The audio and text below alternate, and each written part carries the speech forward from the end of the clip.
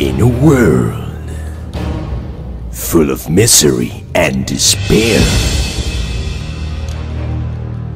there is a country where politicians used to have the power and money just for them. But that's enough. From the producers of Fuck You, Sebastian Dávalos, comes a story where all of us are the king. To end with this empire of terror. No support from the television Dar media. trabajo a las personas. Theft from the leaders. Está todo grabado. But they're getting stronger.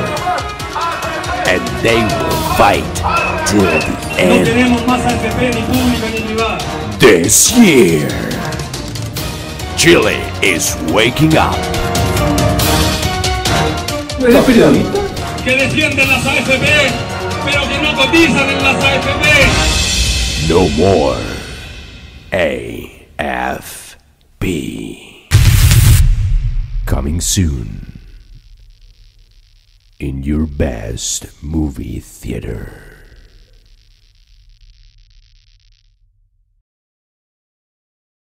A Man production.